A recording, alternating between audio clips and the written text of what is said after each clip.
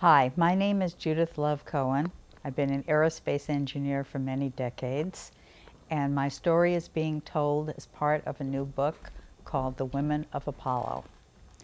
The Apollo project was the one where we landed a man on the moon, and I know exactly when this took place because I remember I was sitting in front of the television set I was eight months pregnant with my youngest child, and he was born in August of 1969.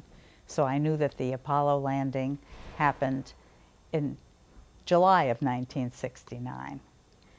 This was a very important project for TRW, which is now Northrop Grumman.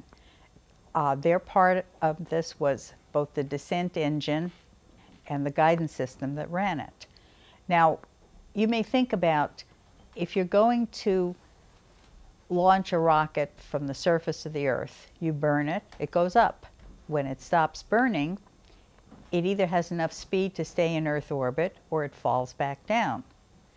What you needed to land on the moon, you need an engine that adjusts, that is very carefully controlled because you want it to land on the moon at the time that it stopped moving and it very gently landing.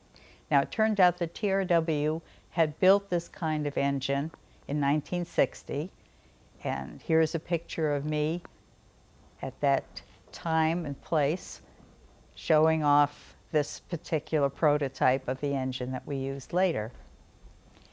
Now, if you'd like to check us out, we're at www.cascadepass.com and buy the book and read the story.